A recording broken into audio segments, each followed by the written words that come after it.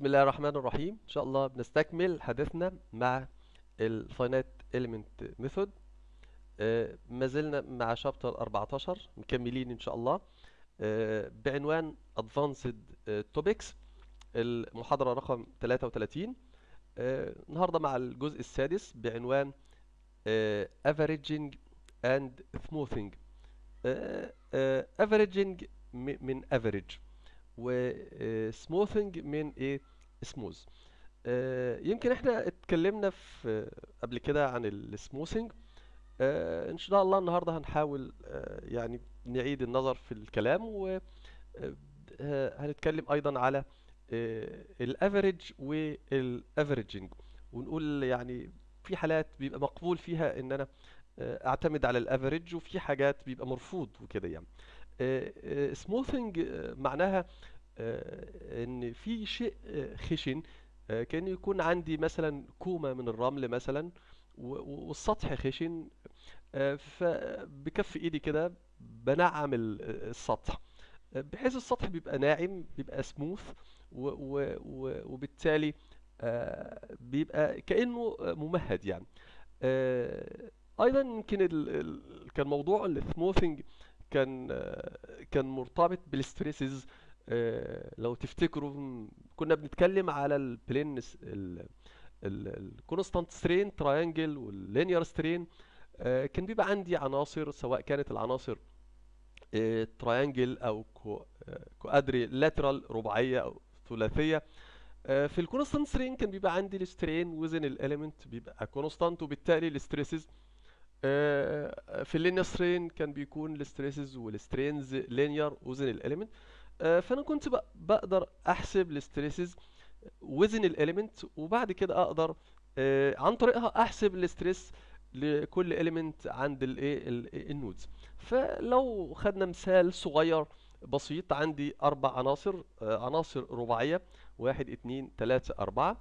آه، الأربع عناصر آه، مشتركين مع بعضهم في common node في node مشترك. آه، فأنا بقدر أحسب آه، من العنصر رقم واحد ال stress عند ال node آه، عند A وللعنصر اتنين بحسب ال stress عند B وتلاتة أحسب عند C وأربعة أحسب عند D. يبقى عن طريق العناصر الأربعة قدرت أحسب أربع قيم للإجهادات لكن عند نفس ال node. لكن آه، كل stress جاي عن طريق element. وبالتالي في النهاية بقى عندي أربع قيم لل stresses آه، طبعا مختلفة. stress A و stress B و stress C و stress D فلو أنا بعمل display لل stresses فهلاقي الألوان آه، عند نفس ال node في أكتر من لون لأن في أكتر في أربع قيم في اختلاف. فطبعا وده بالظبط بي- بيشبه لو عندي سطح خشن فبلاقي في آه، آه، يعني اختلاف في تغير. فبعمل smoothing بإن أنا آخد ال average بجمع ال stresses ل A و B و C و D واقسم على أربعة وبالتالي بطلع في النهاية آه، بقيمة واحدة آه، لل stress عند إيه إيه المشترك. وبالتالي في النهاية لما بنعمل display لل stress على ال- الجسم نفسه فبتلاقي الألوان أصبح في سلاسة كده ب- الألوان آه، لونها بيتغير تدريجي كده آه، كأنه بالظبط آه، كان سطح خشن وبكف إيدي كده على السطح نعمت السطح فأصبح إيه؟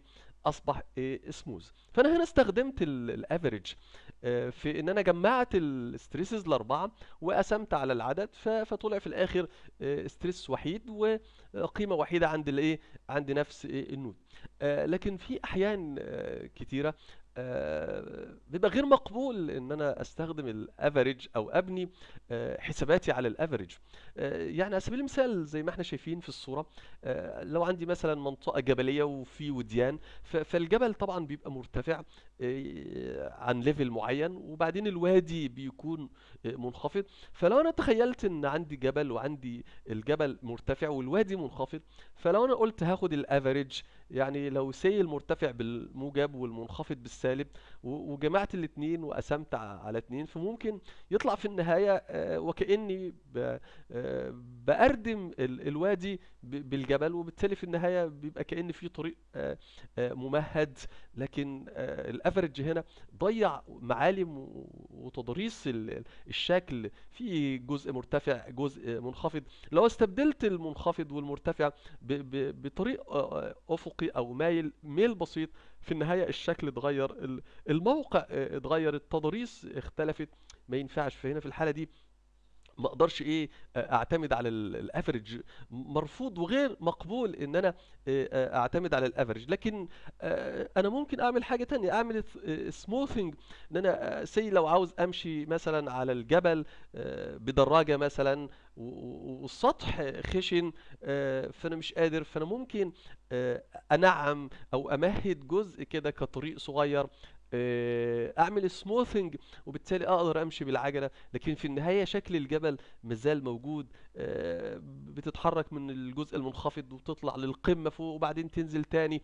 آه، يبقى السموثنج هنا آه، يعني أنا مهدت آه، طريق صغير لكن ما زلت محافظ على الشكل وعلى ال- ال- التضاريس. أيضا أنا ممكن بالنسبة للجبل أعمل سلم آه، وأمشي عليه درج سلم وكده. آه، وامشي عليه واتحرك عليه. لكن في النهاية أيضا آه، دون آه، تغيير معالم ال- ال- الجبل أو شكله أو تضاريسه وكده يعني. فهنا ما ينفعش الأفريج غير مقبول. آه، مرفوض إن أنا آه، أشيل الجبل وأردم بيه الوادي وبعدين يبقى عندي طريق ممهد. طب لو زرت المكان بعد كده طبعا هيبقى آه، المكان معالمه اتغيرت وكده. فطبعا واضح إن ال average إيه آه، غير مقبول. آه، أيضا مثلا عندنا مثال آه، واقعي في حياتنا آه، غير مقبول فيه إن أنا أعتمد على ال average. يعني لو عندي say مثلا اتنين إخوات ودخلوا امتحان آه، واحد جاب 90% والتاني جاب 10% مثلا فالمفروض إن في واحد متفوق والتاني راسب وكده. ما ينفعش أجمع الدرجتين على بعض أقول 90 زائد 10 آه، يبقى 100 على 2 يطلع النتيجة 50% يبقوا الاتنين ناجحين. طبعا هنا ال average مرفوض غير غير غير مقبول. يعني الكلام ده آه، محدش هيقبله. يعني ده ممكن لو في أوكازيون وكده لكن في الواقع ده ده كلام مرفوض وكده. أيضا لو أنا مثلا بصينا لل لل curve اللي مرسوم عندي علاقة ما بين سرعة الرياح آه، مع التايم إحنا عارفين إن ال- الرياح آه، سرعة ال- الرياح بتتغير مع الوقت. فلو أنا آه، بدأت أقيس سرعة الرياح آه، جبت جهاز والجهاز ده بيتحط على ارتفاع آه، 10 متر من سطح الأرض على أساس يبقى بعيد عن المباني المنخفضة وعن الأشجار والتضاريس اللي في الأرض عشان ما تأثرش على سرعة الرياح وكده. وبتيجي الرياح وبتضرب في الجهاز فالمروحة بتلف فالجهاز بيقيس سرعة الرياح آه، مع الوقت وبتتغير طبعا مع الوقت وبعدين بتزيد وبتقل كده بيكون التغير في السرعة مع الوقت بيكون random يعني عشوائي مش ماشي بدالة معينة لا في في آه، عشوائية وكده. فسرعة الرياح آه، دالة في ال time واعتمادها على ال time random فلو أنا قلت مثلا أنا هاخد ال average هجيب ال average اللي هو ال capital U فلو أنا حسبت ال average يعني جمعت القيم كلها وقسمت على عددها فيطلع لي في الآخر قيمة ثابتة اللي هي ال capital U وهي عبارة عن الخط الإيه ال dotted اللي قدامي.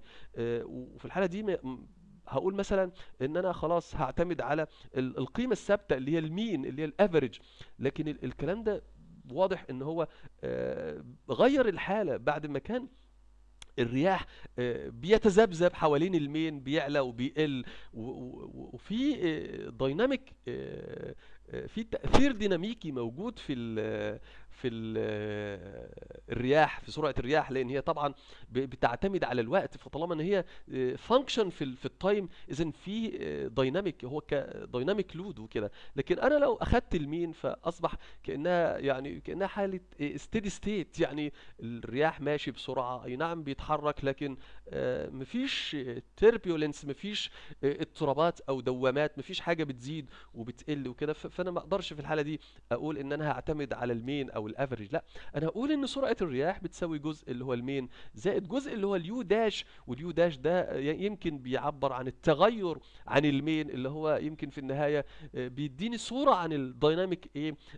effect ل آه، آه، الرياح وكده مع ال time آه، ال- تعال نشوف في حياتنا العملية آه، في حالات وفي أحيان آه، بيكون آه، مقبول إن أنا آه، أعمل ال average واعتمد عليه وفي أحيان أخرى بيكون غير مقبول مرفوض إن أنا أعمل averaging للبيانات اللي عندي وأعتمد عليه.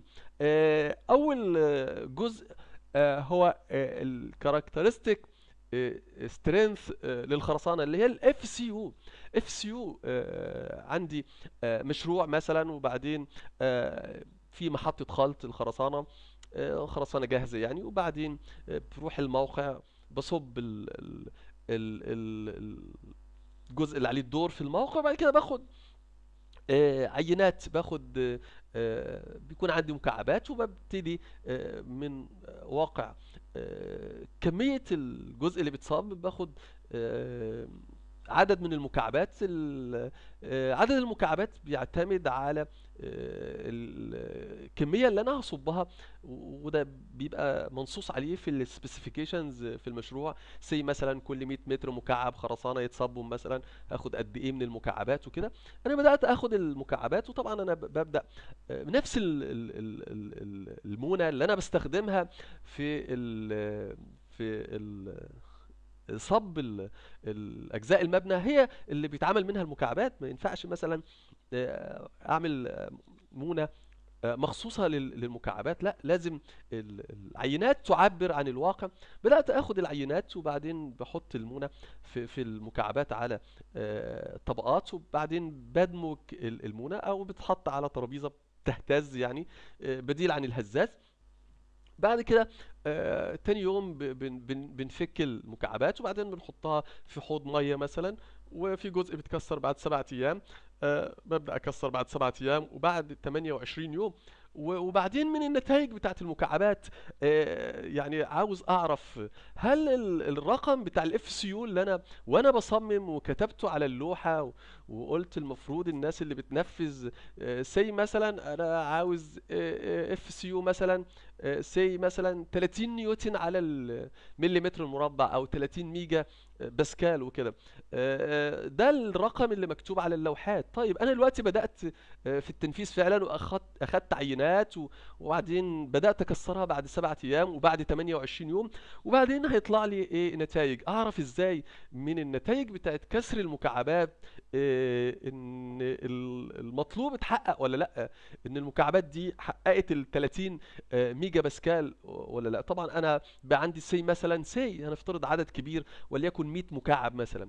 فأنا قبل ما أكسر المكعبات أنا مش عارف النتيجة هتطلع إيه. ممكن ال- المكعب يتكسر عند 20 مكعب يتكسر عند 40 عند 25 اذا القيمة نفسها variable يعني متغير. آه، ال- نتيجة الكسر ال- للمكعبات هي عبارة عن variable متغير. وهو في نفس الوقت random variable لأن آه، تغيره تغير عشوائي. فلو أنا say عملت ال ال ال ال ال كسرت ال 100 عينة وبعدين حصلت على النتائج وبدأت أقسمهم إلى فئات آه، مثلا العينات اللي جايبة من 20 ل 25 والعينات اللي جايبة من 25 ل 30 وهكذا. وبدأت أرسم المنحنى اللي هو التكراري. ففي الغالب آه، بنحصل على إيه؟ ال bell shape اللي هو ال normal distribution curve يعني ال distribution للنتائج بي- بي- بيبقى ما يعرف بال normal distribution curve اللي هو شكل الجرس يعني. آه، طبعا في الحالة دهيت آه، واحد كسر 100 مكعب وطلع له 100 نتيجة فقام رايح جميعهم كلهم وقاسم على 100 اذا هو جاب الإيه؟ آه، جاب ال average. آه، في الحالة ديت لما لما جاب ال average say ان ال average طلع 40 40 آه، آه، نيوتن على المليمتر المربع أو 40 ميجا باسكال. طبعا أنا كاتب في الورق في التصميم إن ال Fcu بعد 28 يوم آه، 30 هو جمع ال 100 عينة وكسرهم وجاب ال average يعني جمع ال 100 قيمة وقسم على 100 فطلع في ال average بكام؟ ب 40 فقال لي ده 40 وأنت كاتب في الورق آه، 30 بعد 28 يوم يبقى كده تمام. فأنا بقول له لا ال- الكلام ده إيه؟ آه، الكلام ده مش مظبوط. ما ينفعش آه، هنا أستخدم ال average. ليه ما ينفعش أستخدم ال average؟ لأن ال 100 عينة اللي أنا كسرتهم آه، فيهم عينات جايبة 20 وعينات جايبة 15 آه، وعينات جايبة 25 وفي عينات جايبة 30 و35 و40 وفي عينات جايبة 45 وفي 50 وفي 55 أي نعم الأفريج طلع 40 لكن في عينات آه، طالعه ب 20 وعينات طالعه ب 15 وعينات طالعه ب 10 وعينات طالعه ب 25 اذا في أجزاء من المبنى اتصبت بالفعل آه، خرسانتها ضعيفة. آه، فهنا ما ينفعش الأفريج. ما ينفعش آه، لما أجي أكسر مكعبات آه، أجمع النتائج وأقسم على العدد وأقول إن ال average هو يعبر عن ال Fcu لا ال average لا يعبر عن ال Fcu طيب إيه إيه آه، آه، يعني طب أحسب إزاي؟ آه، في الحالة ديت آه، آه، أنا بحسب الاف سي يو بتساوي أو ال Fcu بتعبر عن إيه؟ يعني يعني ال Fcu لو أنا رسمت ال- المنحنى آه، ال- اللي يقل عنها يمثل 5% من المساحة تحت المنحنى. يع- يعني آه، يعني كأن ال- ال- اللي بيمثل آه، القيمة بتاعتي آه، 95% من المساحة إيه آه، تحت المنحنى. فلو أنا بصيت عند الرقم 30 آه، فهلاقي إن في 5% أقل منه وفي 95% آه، في المية إيه آه، أكتر وكده. اذا في الحالة ديت أنا ما أخدش ال 40 أنا أقول إيه آه، ال- ال- القيمة اللي أنا هعتمد عليها اللي هي القيمة اللي يتعداها 95% واللي يقل عنها يبقى إيه 5% فالقيمة ديت اللي هي ال Fcu بتبقى قبل ال F mean قبلها أقل منها فبتساوي ال F mean مطروح منها الجزء اللي هو الفرق بينهم اللي هو المفروض آه، في معامل اسمه K مضروب في S K المعامل دوت لو المساحة اللي هي آه، 5% فال K بيطلع آه، 1.64 من 100 وطبعا هنا أنا بعدت عن ال mean آه، ناحية الشمال فده معناه إن في انحراف عن ال mean فالانحراف قيمته S أو ما يعرف بال standard deviation أو الانحراف المعياري. اذا هنا في الحالة دهيت يبقى ال Fcu اللي هو to be checked بيساوي ال mean اللي هو ال average مطروح منه جزء وليس ال average فاعتمادي على ال average هنا اعتماد خاطئ. لا أنا بجيب ال average وأطرح منه جزء والنتيجة هي ال Fcu وبالتالي في الآخر بشوف الرقم اللي بيطلع. لو هو 30 أو أكبر يبقى كده إيه النتائج مقبولة. لو هو أقل يبقى لازم أتوقف وآخد إيه وآخد قرار. أنا طبعا آه، آه، أكيد أعرف أحسب ال standard deviation وأضربه في 1.64 من 100 وأحسب ال mean إن أنا بجمع العينات وأقسم على العدد وأطرح الاثنين من بعض بطلع قيمة الايه ال Fcu ده بالنسبة لل strength. بالنسبة لل strength آخد أنا القيمة اللي يتعداها 95% ويقل عنها آه، 5% فبالتالي بيبقى إيه؟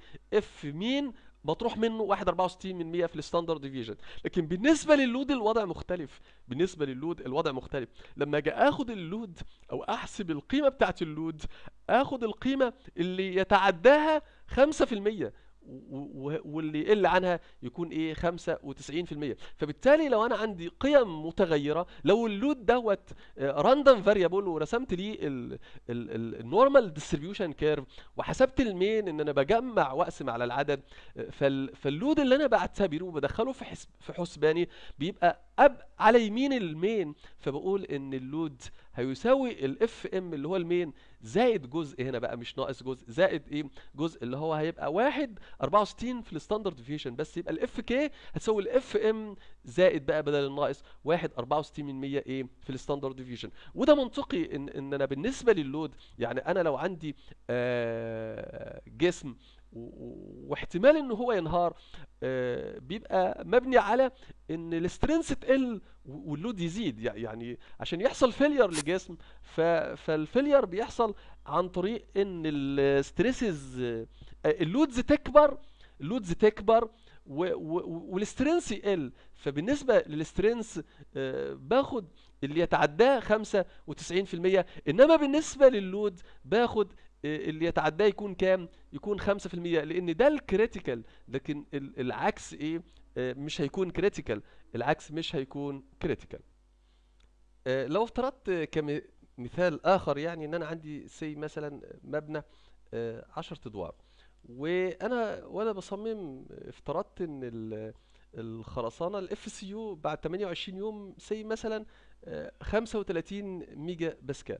وبعدين آه، وأنا بنفذ المشروع وكسرت ال- المكعبات واخدت ال average للعينات اللي أنا كسرتها فلقيت ال average اللي هو ال Fm أو ال mean يعني لقيته 40 وأنا في في الرسومات كاتب ال Fcu بعد 28 يوم 35 لما حسبت ال average لقيته 40 فده مش معناه آه، آه، إن العينات مقبولة. آه، لأن أنا ما بتعاملش مع ال average.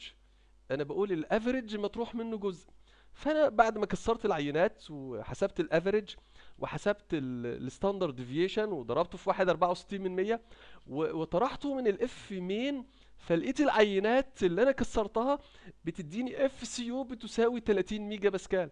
لكن الورق أو ال specifications بتاعت المشروع مكتوب فيها إن ال Fcu بتساوي 35 العينات اللي اتكسرت إدت Fcu بتساوي 30 اذا العينات مرفوضة غير مقبولة. لازم أتوقف وأخد إيه؟ آه، قرار مم- ممكن إن أنا يعني آه، أعمل redesign على القيمة الجديدة أو أقلل عدد الأدوار. يعني لازم أخد أي إجراء. آه، لكن ما ينفعش أقول لا ده ال average طالع 40 وأنا عندي ال Fcu في الورق مكتوبة 35 وال average أكبر لا أنا ما بعتمدش على ال average أنا بعتمد على ال Fcu فأنا حسبت ال Fcu من العينات فطلعت 30 وأنا مطلوب مني 35 يبقى العينات هنا بتسقط وما ينفعش ويبقى الوضع غير إيه؟ آه، غير غير غير مقبول. آه، أنا يعني بيلزمني إن لما أكسر العينات وأطلع قيمة آه، يكون معظم العينات أكبر من القيمة. يعني آه، يعني يكون معظم العينات معدل القيمة آه، ال- المطلوبة مني. مش يكون في جزء كبير من العينات أقل لأ. لازم تكون العينة يعني ال- اللي يتعداها كتير جدا واللي يقل عنها قليل جدا. يعني القيمة اللي تطلع من الكسر واللي أنا هعتبرها وأعتمدها يكون اللي يقل عنها آه، عدد قليل من العينات. يعني يمثل 5% و- وبقية أو معظم الع- العينات قيمتها بتتعدى آه، القيمة إيه ال- ال- المقبولة بالنسبة لي. ده ك strength. لكن ك load العكس أنا لما أجي أصمم منشأ على load يهمني إن ما يحصلش في الواقع آه، تعدي لقيمة ال load اللي أنا صممت عليه. ولو حصل تعدي يبقى التعدي ضئيل جدا. يعني يمثل جزء بسيط جدا اللي هو على يمين الإيه القيمة اللي أنا هعتمدها. وده وده بالنسبة لي هو ال critical إن أنا أصمم على ال load آه، اللي متوقع إن اللي يحصل في الواقع يبقى أقل منه. ما ينفعش يكون أكبر منه. ولو حصل إن في قيم تعدت القيمة اللي أنا حسبت عليها تكون قيم قليلة نسبتها بسيطة. تمثل say 5% من المساحة تحت المنحنى وبالتالي يبقى ال load اللي أنا بصمم عليه بيساوي ال mean زائد 1.64 إيه في ال standard deviation لكن العكس بالنسبة آه، لل strength. أنا في ال strength يهمني إن معظم العينات اللي تتكسر تدي نتائج أعلى آه، من المطلوب. وإن النتائج اللي هتبقى أقل من المطلوب تكون نتائج قليلة آه، يعني تمثل حوالي 5% آه، من المساحة تحت المنحنى. وبالتالي في الحالتين آه، ال- ال- الرقم أو ال- ال- ال- المعامل اللي أنا بضرب فيه بيطلع 1.64 آه، من 100 ال- الجزء اللي بعد كده الجزء الثاني بعنوان averaging at peaks لما بيكون عندي فيه مسائل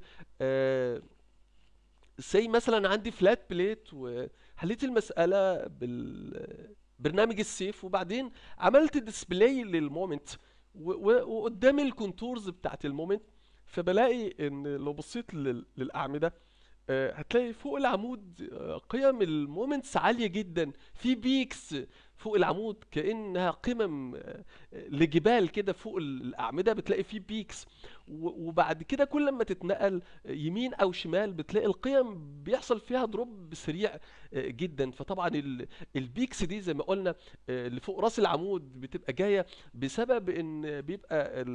أنا بمثل البلاطة بال mid surface وبمثل ال- العمود ب line فبيبقى كأن في line اتقابل مع سطح فبيبقى في يعني point على point ففي تركيز في الاجهادات وبالتالي في تركيز في ال moments في peaks في ال moments.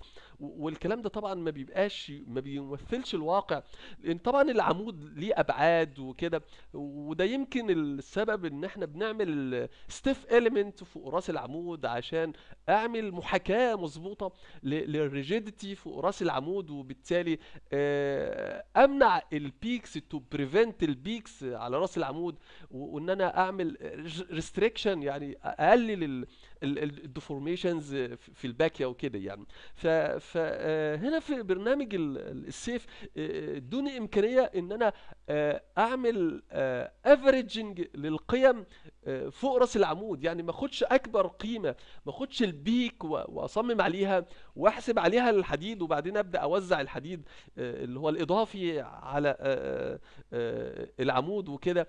آه، لا آه، ادوني فرصة آه، لأن ال peaks ديت مش حقيقية. فقالوا لي خلاص طالما إن هي مش حقيقية وبيحصل drop سريع فما ينفعش آخد أكبر قيمة وأحسب عليها وأحسب الحديد وأوزع لأ طب ما أنا آخد الافريج فسي ممكن آخد area كده فوق رأس العمود say مترين في مترين أو أكتر واجمع ال moments في ال في ال area دي وبعدين آه، لكل element وبعدين أقسم على العدد فأجيب ال average والقيمة بتاعت ال average أبدأ إيه آه، أحسب عليها إيه الحديد وكده. فطبعا في برنامج ال SAFE لو عندي مسألة وفي أعمدة وفي بلاطة آه، أو أساسات يعني ايا كان الوضع فبلاقي في الآخر لما بعمل display بلاقي في peaks على آه، ال- ال- الأعمدة. ففي في ال option بتاع اللي هو في في ال- SAFE اللي هو لما بتعمل display لل slab design وكده أو show slab design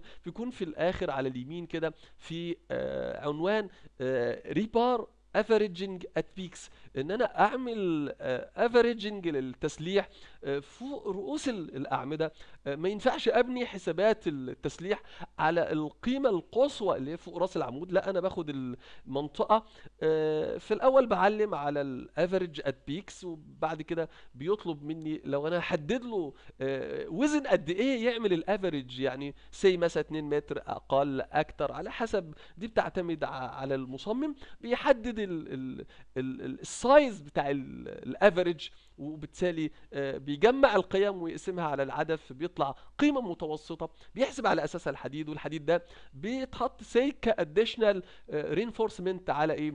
على على رؤوس إيه؟ الأعمدة.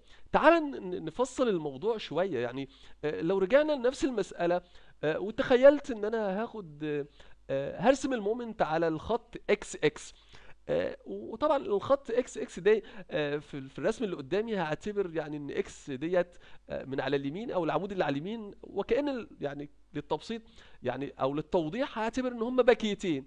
آه، باكية على الشمال وباكية على إيه آه، آه، اليمين. فلو تخيلت إن أنت بترسم ال moment say لباكيتين يعني طبعا المسألة آه، فيها استمرارية لكن فرض فرضا يعني هعتبر إن هم باكيتين بس. فطبعا في الباكية اللي على الشمال هيبقى في positive moment وبعدين هيبقى في negative moment فوق رأس العمود وبعدين ينزل تاني إيه positive وهكذا. ال- ال- moment دوت آه، لو أنت أخدت ال- ال- line X X فوق رأس العمود بالظبط say إن إحنا فرضا يعني هنلاقي إن ال negative moment فوق رأس العمود اللي هو آه، يعني القيمة القصوى اللي هي ال peak يعني هنلاقيها 30 كيلو نيوتن متر say مثلا مثال يعني مش بالظبط يعني.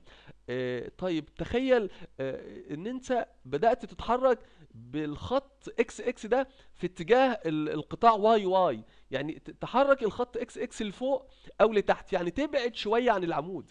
هلاقي ال diagram بتاع ال moment برضو positive negative positive لكن قيمة ال negative هتبدأ تقل شوية. بدل ما كانت 30 هتبقى 25 لو اتحركت كمان شوية لفوق هتبقى 20 وبعد كده هتبقى 15 وهكذا.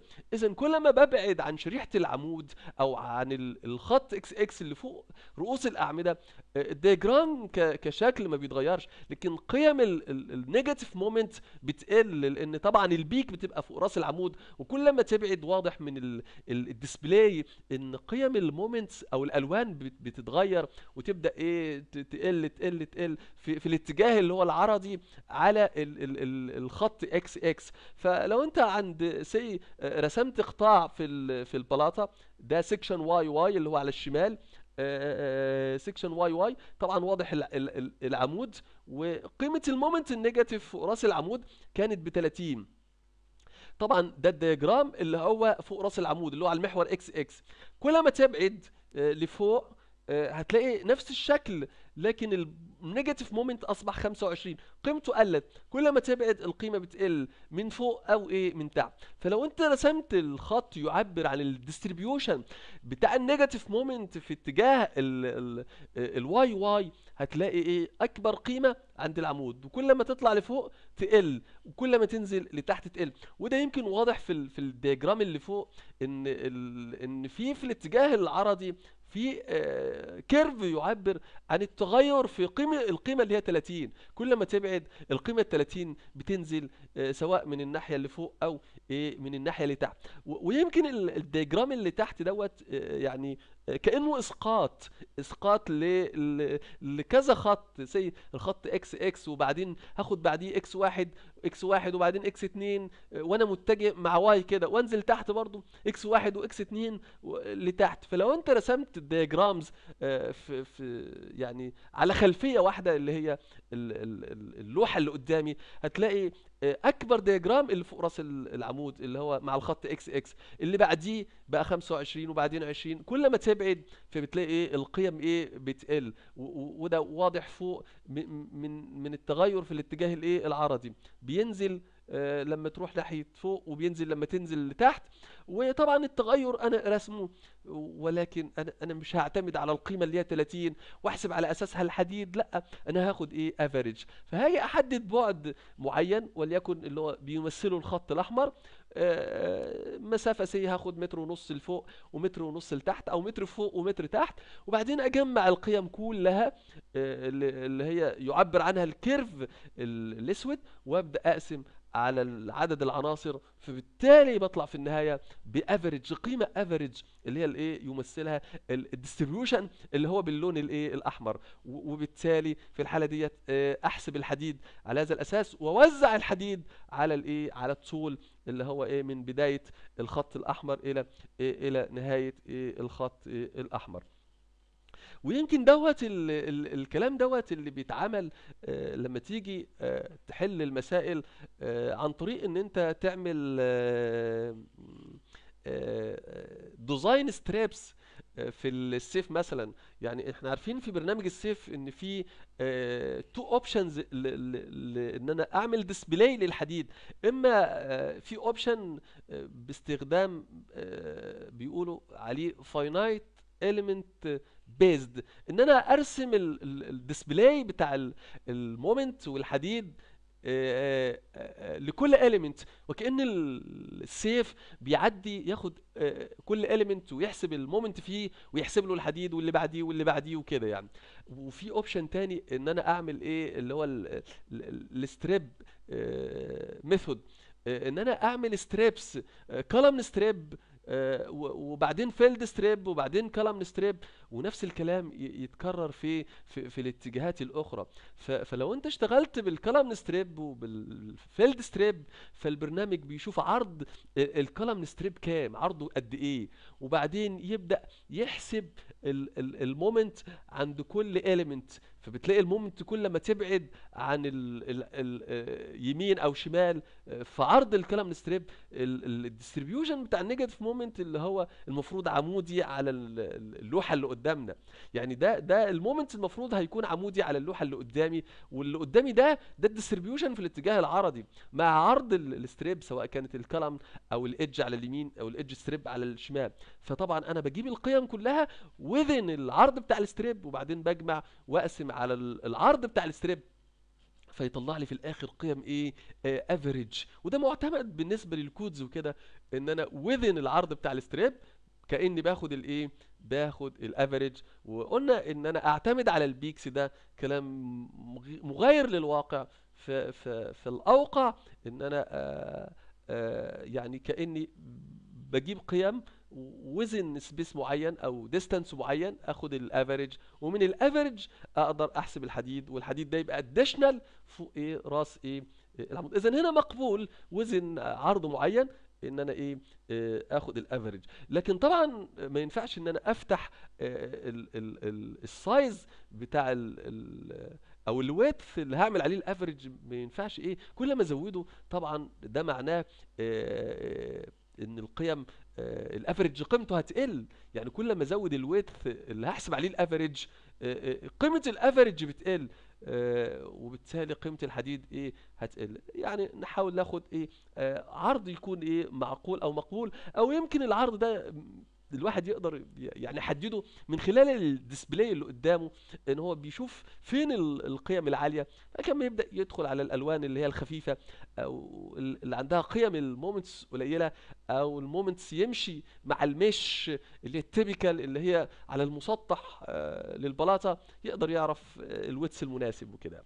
وطبعا أصغر كل ما صغر كل ما يبقى إيه أفضل لأن هيديني أكيد حديد إيه حديد آه، أكتر وكده. آه، يمكن في قبل ما نسيب موضوع ال average آه، وال averaging ونتنقل لل smooth and smoothing يعني في نصيحة نصيحة بتقول don't be average يعني يعني هنا ما ينفعش آه، كشخص إن أنت تكون ال grade بتاعك يكون ضئيل أو يعني يعني ال grades أو التقييم بيبقى outstanding وبعدين excellent ممتاز وبعدين very good وبعدين average وبعدين below average ف يعني أنت تحاول يكون تقييمك outstanding تكون مميز يعني ما ينفعش آه، تكون آه، يعني average أو أقل من ال average وكأن الواحد بيقول آه، بينه وبين نفسه كده I'll not be labeled as a average. هنحاول يعني نتنقل للجزء الآخر اللي هو ال smoothing لكن قبل ما نتنقل للسموثينج الافريجنج ليه أنواع مختلفة بيحاولوا إن هم يحسنوا. يعني بدل ما أعتمد على ال average العادي إن أنا اجمع كل الأرقام آه، أو نتائج المكعبات وأقسم على عددها لا آه، في في نوع آه، بيحسن ال ال الكلام ده. ده بيسموه moving average moving إيه average moving average يمكن هيسهل الأمور شوية. ولو بصيت للرسم اللي قدامك طبعا في diagram في تغير وبالتالي في خط لونه أحمر. بس تلاحظ إن الخط الأحمر يعني معبر شوية يعني تحس إنه بينخفض وبيرتفع وينخفض ويرتفع يعني بيعبر عن التضاريس أو عن الشكل العام لل curve الأصلي. آه، يعني ما ينفعش أجمع القيم كلها وأقسم على العدد مثلا فيطلع خط أفقي أو خط مايل ويبقى غير معبر لكن يمكن هنا الخط الأحمر آه، معبر شوية عن عن الواقع. فزي ما قلنا آه، يعني لو عندي وادي وعندي جبل وخدت ال average العادي فكأني بهد الجبل واردم بيه الوادي وفي الآخر يبقى عندي طريق say أفقي مثلا لكن المعالم والتضاريس اتغيرت. لكن يمكن أنا ال moving average كأني آه، بعمل بمهد في الجبل آه، طريق آه، الجبل سطحه خشن في أجزاء مرتفعة ومنخفضة زي ال curve اللي لونه أزرق.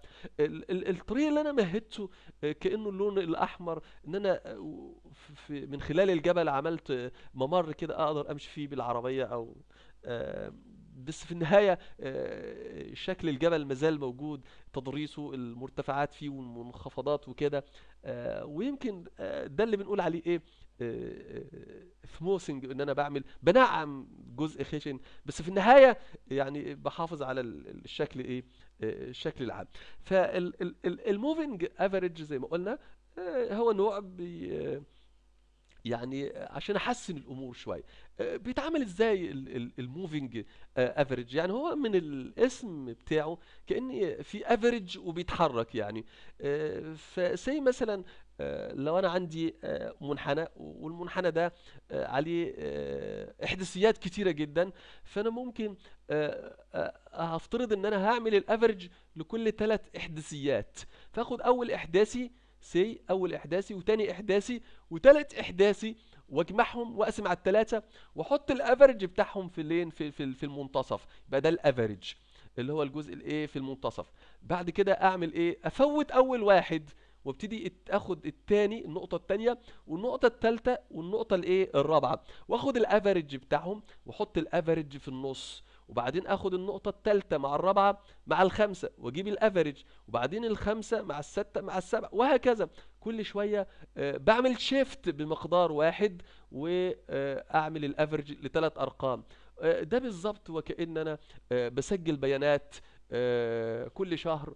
آه، ف say مثلا عندي بيانات لثلاث شهور جبت ال average بتاعهم بعد كده جت بيانات للشهر الرابع فأقوم أ cancel الشهر الأولاني وأعمل آه، ال average للشهر الثاني والثالث والرابع وهكذا جه الخامس أ cancel الأولاني والثاني وآخد الثالث والرابع والخامس. ده هو الإيه؟ ال moving average ويمكن ميزة ال moving average إن هو بيديني آه، هو زي indicator ال trend بتاع ال curve يعني بي- بيوضح لي الترند ماشي إزاي ال curve ماشي إزاي آه، في أماكن بينخفض وبعدين في أماكن بيرتفع وبعدين ينخفض وبعدين آه، يرتفع. لكن لو أنا جمعت كل الأرقام وخدت ال average العادي فممكن يعني آه، النتائج تكون آه، غير معبرة وكده يعني.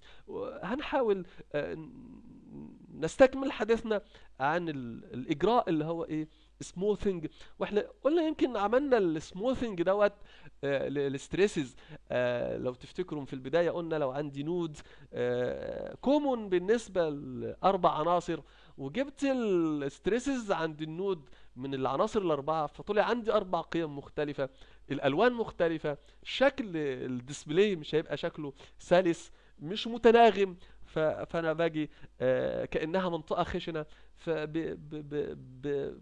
بمسطرين مثلا آه، أو ب- ب- بصنفرة آه، أو مثلا لو عندي فارة مثلا وفي خشب وبستخدمها في إن أنا أنعم ال- السطح أو مك- ممكن أستخدم المكوى مثلا لو عندي ملابس و- وسطحها خشن فممكن باستخدام ال- ال- المكوى وكده السطح بيبقى ناعم. لو أنا بصب خرسانة مثلا say وبعدين خلصت فواضح إن سطح الخرسانة متعرج وخشن فممكن آه، آه، بلوح من الخشب كده نقدر نسوي السطح نعمل smoothing للسطح ويبقى السطح آه، ملمسه آه، آه، كأنه ممهد كأنه ناعم وكده.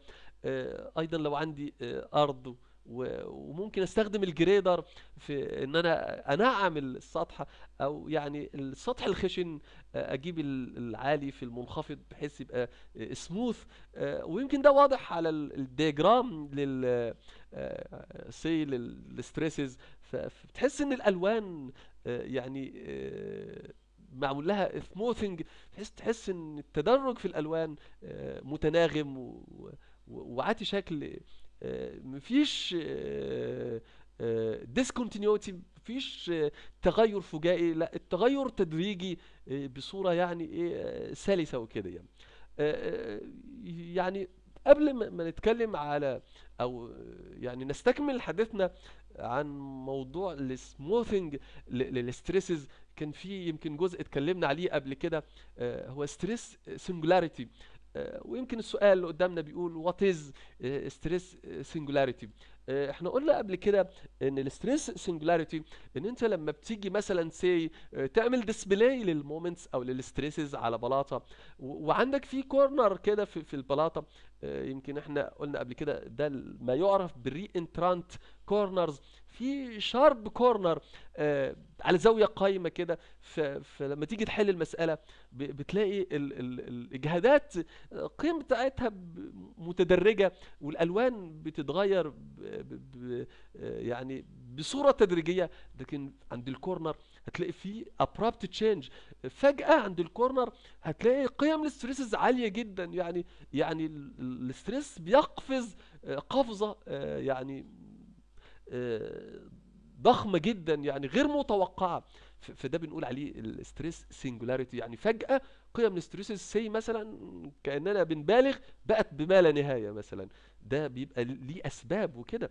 ويمكن إحنا بنتكلم على ال stress singularity لأن أنا لما أجي أعمل smoothing لل stresses يعني عندي سطح خشن ونعم السطح الخشن ما ينفعش يبقى في منطقة ال stresses فيها بما لا نهاية. وأجي اللي قبليها كانت stresses قليلة جدا وآخد ال average ما بين الما لا نهاية والصغير فيطلع رقم. آه، يغير م- م- من الواقع في المنطقة دي آه، لا آه، يعني تخلي بالك في الأول نشوف في هل في أماكن في المسألة؟ يعني قبل ما تعمل smoothing لل stresses أو لل moments في المسألة حاول تبص على ال ال الشكل اللي هو unsmoothed اللي هو الشكل قبل ما أعمل smoothing وشوف هل في أماكن زي ال sharp corner هل ال stresses فيها عالية جدا؟ آه، قيمتها قفزت آه، فجأة آه، أو زي مثلا say لو عندنا آه، جسم كده مرتكز على جسم وطبعا الارتكاز جاي على area صغيرة فكأن بالظبط لو عندي stress بيساوي force على area فال area يعني تكاد تكون point area يعني almost ال area بتساوي zero فلما تقسم force على area تقريبا تساوي zero أكيد ال stress هيطلع إيه؟ قيمته بما لا نهاية يبقى infinite لا نهائي. آه، قيمته كبيرة جدا. آه، وبالتالي آه، القيمة العالية جدا. زي ما هو قدامنا.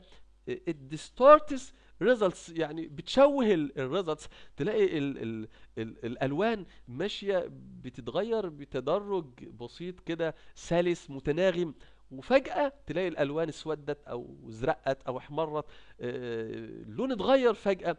فده بيعمل distortion لل results والواحد كده بينتبه آه، كأن في صدمة وبيبدأ يقول إيه اللي حصل في المكان؟ اشمعنى المكان ده يعني شكله غريب؟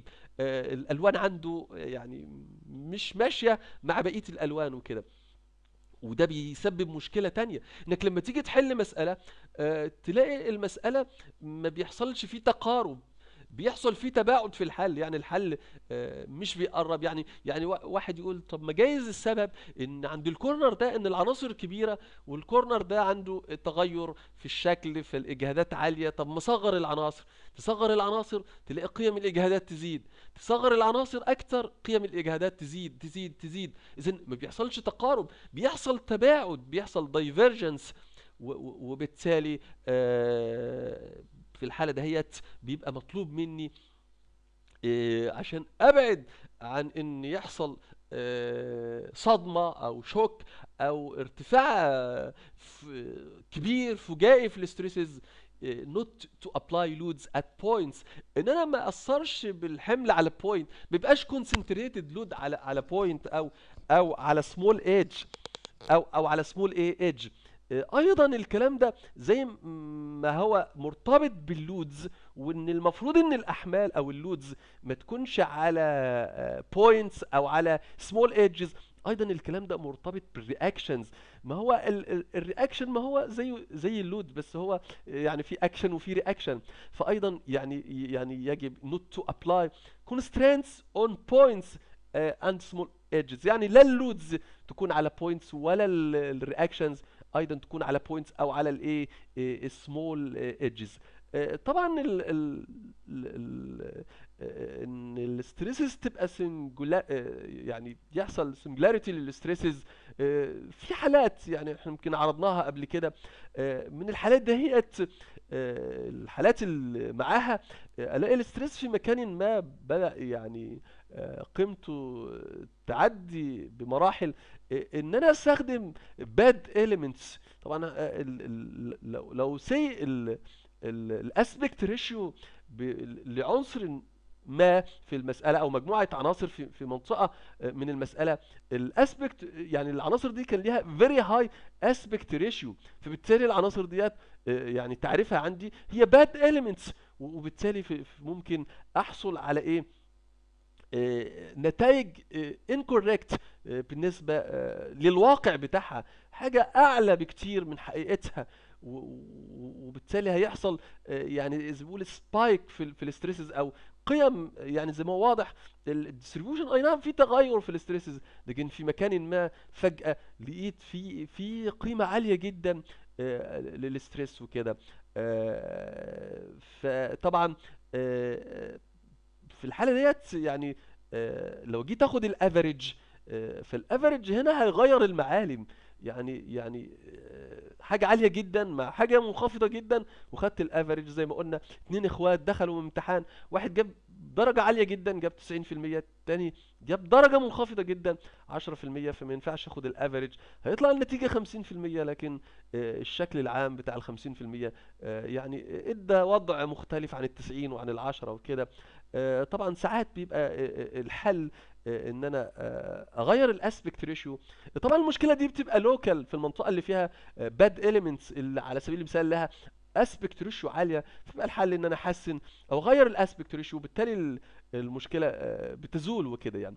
آه، ال- ال- الجزء الثاني يمكن آه، تعرضنا له من شوية إن يبقى عندي فيه re-entrant corners وعندي sharp corners زي ما قلنا.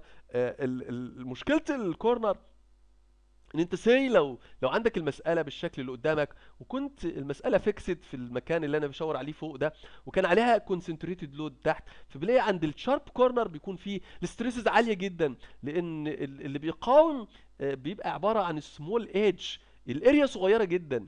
ال area اللي على ال edge اللي هو ما بين ال- الأفقي والرأسي الزاوية القايمة بتكون ال area very small وبالتالي force على area very small فبيكون ال stresses بتكون إيه آه عالية جدا. فبالتالي في الحالة ديت لو تلاحظ تلاقي الألوان بتتغير بسلاسة كده في تناغم. لكن فجأة عند ال sharp corner آه الألوان لونها يعني اتغ- حصل تغير دراماتيكي في في الألوان وبالتالي في القيم. وواحد يقول طيب ويمكن ده اللي حاصل في المسألة طب ما أنا أصغر ال elements شوية. يصغر يلاقي الإجهادات بتزيد أكتر. يصغر ال elements أكتر الإجهادات بتزيد. زي ما قلنا أنت داخل آه، في loop ما بيتقفلش بي- بيفتح أكتر وأكتر. فبيحصل divergence وليس إيه convergence وكده. فطبعا الحل آه، في الوضع دوت مش إن أنا إيه أعمل آه، أصغر العناصر. لا بيكون الحل إن أنا أتخلص من ال sharp edge بإن أنا بعمل آه، بشطفها على زاوية مثلا say 45 أو أعمل curve تبقى بدل ما هي زاوية قايمة تبقى على curve. ويمكن ده بيقابلنا في حياتنا لو واحد راكب عربية وعاوز يتنقل من طريق لطريق عمودي عليه فما ينفعش آه، يلف العربية على زاوية قايمة لازم بيلف على إيه؟ آه، على منحنى وكده يعني. آه، أيضا نفس الكلام زي ما قلنا آه، ممكن يتكون عند المنطقة اللي فيها load وممكن يتكون ده الجزء الثالث في عند مكان ال- ال- التثبيت نفسه. يعني لو عندي منشأ ومتثبت آه، في fixation يعني ف- فمكان ال support لو ال support ده على سمول اريا أو small edge فبتطلع برضو إيه قيم عالية آه، في في ال stresses وكده. آه، يمكن هنرجع بقى تاني لموضوع ال اللي هو ال smoothing لل process بالنسبة آه، لل stress. يمكن واضح قدامي في في المسألة قد إيه ال- الألوان يعني بتتغير آه، بشكل تدريجي آه، يعني ناعم آه، متناغم آه، بعد ما بعمل آه، الإجراء بتاع إيه ال smoothing وكده.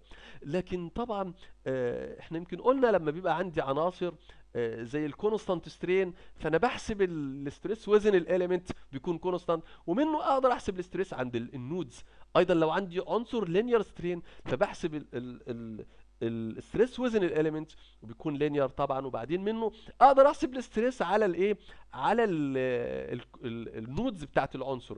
ال- ال- بعد كده أروح للمسألة. أي node بلاقيها common مشترك عليها مثلا say واحد اتنين تلاتة أربعة five elements. فبيكون ال node اتحسب لها ال stresses خمس مرات من كل عنصر مرة بيطلع خمس قيم وفي الآخر خالص باخد ال average بتاع الخمس قيم فبيطلع قيمة وحيدة بلون إيه؟ بلون واحد فبالتالي هلاقي عند أي node آه، لون ال stresses لون واحد. آه، لكن في أماكن اللي هي زي عند ال sharp edge بيكون ال stresses من بعض العناصر بتكون say عالية جدا. فلو خدت ال average هيبقى غير معبر عن الواقع. فلذلك بينصحونا دايما إيه، إن إحنا آه، في أي مسألة آه، نبص للشكل قبل ما أعمل له smoothing وشوف هل في أماكن فيها abrupt change في ال stresses لأن ممكن لما أعمل smoothing التضاريس بتاعت الشكل تتغير. آه، بسبب إنك بتاخد ال average لقيم صغيرة مع قيم كبيرة جدا فالنتيجة سي زي ما قلنا 90% و10% تطلع 50% لا ف take care يعني قبل ما تعمل smoothing بص على الإيه آه، الشكل قبل ما تعمل له إيه smoothing فلربما يكون في في المسألة مثلا آه، abrupt change في في ال thickness وبالتالي هيكون في abrupt change في في ال stresses لو انت خدت عملت smoothing وبالتالي خدت ال average ضيعت ال ال ال ال- المعالم بتاعه الفرق في ال thickness لأن الفرق في ال thickness يعني إن في فرق في ال stresses لازم يظهر بعد ما أعمل حتى smoothing ما ينفعش يروح ويضيع ما ينفعش زي ما قلنا الجبل آه، نهده ونحطه في الوادي ونسوي يبقى الاتنين كلهم أرض مستوية. ضاعت المعالم لا ف ف- يعني دايما بيقولوا لنا قبل ما تعمل smoothing جيب الشكل واعمل display لل unsmoothed contour plot ولو عندك في مناطق فيها آه، عدم استمرارية فيها discontinuities في ال في ال في ال stresses بص عليها وشوف. عشان لما تعمل smoothing يبقى ال smoothing ما يضيعش يعني إيه آه، آه، آه، الشكل أو التغير آه، لا يفضل آه، محافظ على آه، آه، التغير. آه، يمكن ده سؤال. بعد ما ما اتكلمنا عن الافريج والافريجنج والسموث والسموثنج وكده آه، بنسأل بي- بنقول what is the difference between averaging and smoothing عندي جبل ليه قمة وعندي وادي آه، ليه قاع؟ لو أنا أخدت ال average فكأني هديت الجبل وردمت بيه الوادي وأصبح الأرض كلها مستوية فضاع الجبل وضاع الوادي لكن ما ينفعش هنا آه، لكن ينفع إن أنا أعمل smoothing إن أنا آجي على الجبل آه، وأنعم آه، طريق أو امهد طريق أمشي عليه لكن في النهاية هتلاقي الطريق في المكان منخفض في المكان المنخفض ويرتفع مع ارتفاع الجبل وبالتالي المعالم وتضاريس المنطقة آه، ما زالت إيه موجودة. جاست إن أنا عملت إيه مهدت طريق نعمت كده الجزء الخشن بحيث أقدر أمشي آه، العربية تقدر تتحرك وكده. آه، أيضا من الأجزاء اللي تعرضنا بيها واللي بيدخل معاها ال average لو تفتكروا لما كنا بنتكلم عن الحرارة آه، وكان عندنا الجزء المهم اللي هو design temperature change اللي هو ال delta T design temperature change ال delta T عندنا طبعا المنشآت آه، تعرض للشمس والمنشآت بتبقى ضخمة. ففي حرارة في فقلنا آه، وأنا آه، لما بروح أصمم المنشآت الكبيرة آه، لو أنا خدت قرار إن أنا ما أعملش expansion joint ودخل معايا ال delta T آه، فببقى عاوز أعرف قيمة ال delta T ف وأنا بصمم وماسك الورق وبستخدم البرامج آه، ما اناش عارف المنشأ ده هيتنفذ في انه شهر من شهور السنة. ال construction هيكون إمتى؟ آه، في انه شهر؟ إحنا طبعا عندنا في مصر زي ما قلنا آه، إن ال construction season بيبقى طول العام. يعني كل شهور السنة ممكن أنفذ فيها. فإحنا قلنا في قيمة قيمة حرارة default اللي هي قيمة الحرارة وقت التنفيذ. واللي يزيد عنها يبقى delta T واللي يقل عنها يبقى delta T لكن قد إيه درجة الحرارة؟ آه، وقت ال construction ما أعرفش أنا عندي 12 شهر. كل شهر ليه درجة حرارة. طب أنا هنفذ في أنه شهر؟ ما أعرفش فبعمل إيه في الحالة دهيت طالما ما أعرفش فبقول خلاص هجيب ال 12 شهر وأجيب درجات الحرارة في ال 12 شهر وآخد ال average هنا ينفع آخد ال average ما عنديش فرصة غير كده.